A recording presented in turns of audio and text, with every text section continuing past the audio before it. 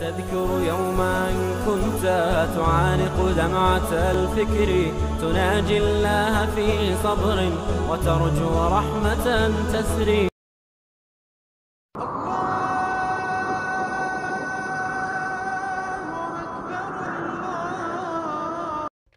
এরপরে আল্লাহ তালা বললেন কি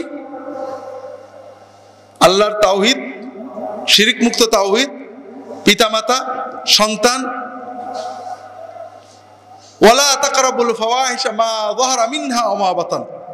প্রকাশ্য, অপ্রকাশ্য, অশ্লীলতার কাছেও যাবে না। এটা কোরআনের মূল দাওয়াত, ইসলামের মূল দাওয়াত, সকল ধর্মের মূল দাওয়াত, সকল সভ্যতার মূল চাবিকাঠি। কথা বোঝেন আজকে কয় তারিখ? একত্রিশ তারিখ। একত্রিশ তারিখ, তাই না? থার্টি ফার্স্ট নাইট বলে একটা রাত আছে। সে কবে? আজকে। কয়েক ঘণ্টা পরে, তাই না? থার্টি ফার্স্ট নাইটে আমাদের ছেলেমেয়েরা কি করে? নাচ, গান ইত্যাদি করে, তাই না? কেন করে? কারণ একটা বিশ্বাস আছে। থার্টি ফার্স্ট নাইট জিরো আর রাত বারোটা যখন বাজে, তখন নতুন বছর শুরু হলো। নতুন বছরের প্রথম মুহূর্তটা যদি আনন্দ ফুর্তিতে কাটাই তাহলে আমাদের সারা বছর এই যে বিশ্বাসটা, এটা ইসলামী বিশ্বাস, তাই না? তবে এটা বিজ্ঞানসম্মত বিশ্বাস নাকি? আমাদের বিশ্ববিদ্যালয়ে আমাদের ছেলেরা আছে, আমাদের ছাত্ররা যারা একটু ধর্মবিরোধী বিজ্ঞান ভিত্তিক অসাম্প্রদায়িক শিক্ষা ব্যবস্থা চাই তার মানে কোরআন শরীফটা পড়া যাবে না? এসব পড়া যাবে না। বিজ্ঞান ভিত্তিক শিক্ষা চাই। সেই বিজ্ঞান ভিত্তিক বিজ্ঞানে কি বলে? পহেলা বৈশাখে, এসো হে বৈশাখ, এসো হে বৈশাখ। বিজ্ঞান তো বলে যে বৈশাখ ডাক দিলে শোনে, ঠিক না? বিজ্ঞান বলে না? বৈশাখকে ডাক দিলে শোনে না? আর বৈশাখের তো ক্ষমতা আছে, সব জরা জঞ্জাল উড়িয়ে নিয়ে চলে যাওয়া, ঠিক না? আছে না? এটা হলো না ইহুদিন আসারাদেরও না এটা হলো প্রাচীন প্যাগানিজম, প্রকৃতি পূজা। অতীত যুগে অসভ্য জঙ্গলি মানুষেরা যখন বৃষ্টি হতো না, তখন গায়ে কাদা মাখত।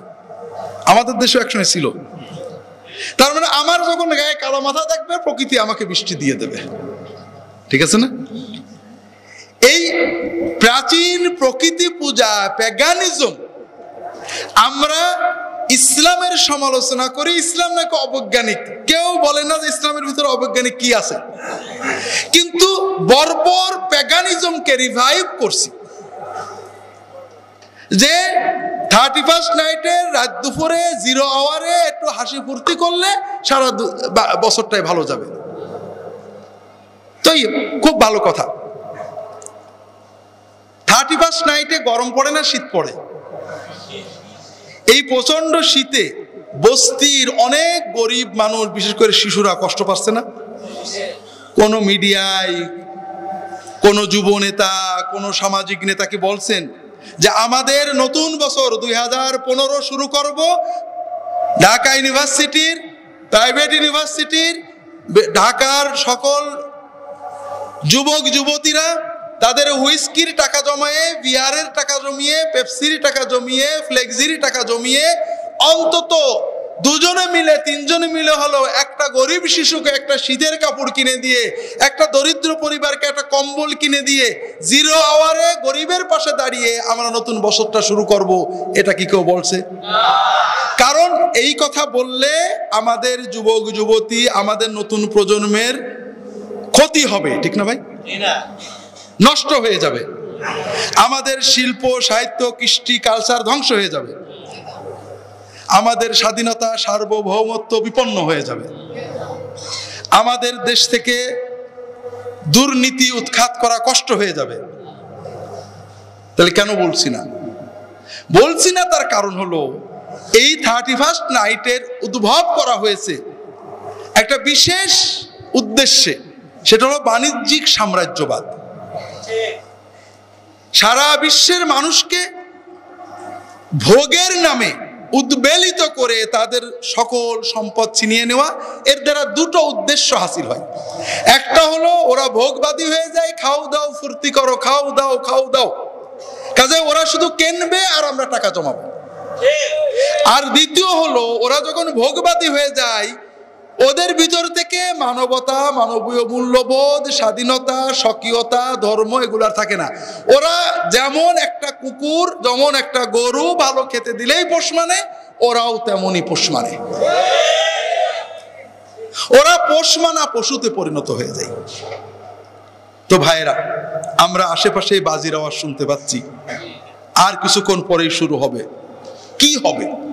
আমি মাঝে মাঝে আমার এই বিষয়টা আলোচনার উদ্দেশ্য ছিল না, কিন্তু আপনাদের বুঝতে হবে যে এটা কোরআনের আলোচনার মূল বিষয়। সকল দাওয়াতের মূল একটা বিষয় হলো অশ্লীলতা বন্ধ করো, কারণ মানবতা টিকানো যায় না। অশ্লীলতা ছড়িয়ে পড়লে মানব সভ্যতা থাকে না। কীভাবে? আধুনিক সভ্যতায়ও হিরোইন পাচার করলে মৃত্যুদণ্ড দেওয়া হয়, জানেন না? কারণ হিরোইন খেলে মানুষ শেষ হয়ে যায়। হিরোইন খেলে ব্যক্তি মানুষ শেষ হয়, আর সমাজে অশ্লীলতা ছড়ালে পরিবার শেষ হয়, মানব সভ্যতা শেষ হয়ে যায়। অশ্লীলতার প্রসারের কারণে ইউরোপে আমেরিকার মূল নাগরিকদের ভিতরে হোয়াইট রেসের ভিতরে, সাদাদের ভিতরে বিবাহ সাথী উঠে গেছে, মানুষের জন্ম বন্ধ হয়ে গিয়েছে। কথা বুঝতে পারছেন না? সেখানে তাদের জনসংখ্যা ডিক্রিজিং এখন অর্থনীতি ধ্বংস হয়ে যাচ্ছে। নতুন কর্মে দেওয়ার লোক নেই। মানুষ রিটায়ার করছে, সরকারের টাকা থেকে পেনশন নিচ্ছে, কিন্তু নতুন ট্যাক্স পেয়ার জন্ম নিচ্ছে না। তাদের সামনে উপায়, যে বিদেশ থেকে বেশি বেশি লোক আনতে হবে, সেক্ষেত্রে তাদের জাতীয় সত্তা নষ্ট হয়ে যাবে, অথবা অটোমেটিক তারা নষ্ট হয়ে যাবে।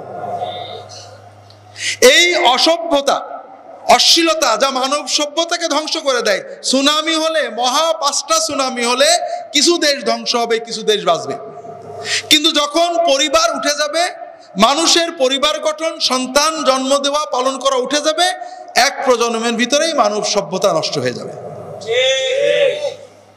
আর এজন্যই সকল আসমানি ধর্মে অশ্লীলতাকে সবচেয়ে বেশি নিন্দা করা হয়েছে।